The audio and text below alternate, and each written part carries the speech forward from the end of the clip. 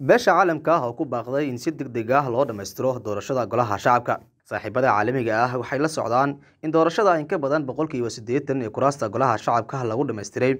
Wakhtigii ay u qabteen golaha wadatashiga qaran ee shan iyo tobanka maarso. Waxaan si xoog leh ugu boorinaynaa dhammaan daneeyayaasha in caqabadaha hortaagan dhammaystirka geedi socodka ee goobaha codbixinta weli harsan ay ku xaliyaan wadahadal iyo wadar ogol si si dhaqso ah oo lagu kalsoonaan karana loogu soo afmeero doorashooyinka. Sidaa darteed waxaan dhammaan hogaamiyeyaasha soomaaliyeed ugu baaqaynaa inay ka fogaadaan xanaanada ay ka mid tahay geedi socodyo isgarab socda oo aan ku salaysnayn heshiis ay u dhan yihiin dhinacyada muhiimka ah waxaan mar kale ku celinaynaa in dadaalada lalabalaabo si loo gaaro qoondada boqolkiiba soddonka ah ee matalaada haweenka baarlamaanka soomaaliya. Saaxiibada caalamiga ah waxay hogaamiyaasha soomaaliyeed ku buurinayaan inay ku dhawaaqaan u diyaargarowga hangarka oo ay ballanqaadaan ka go-nayaashayahooda si loo tixgeliyo qodobada dastuurka soomaaliya ee la xidhiira geedi socod dhexdhexaad ah oo xalaal ah si loo doorto afhayeenada labada aqal ee baarlamaanka iyo madaxweynaha jamhuuriyadda federaalk ah ee soomaaliya. Xasan cabdi raadiyaha telefishinka goobjoog muqdisho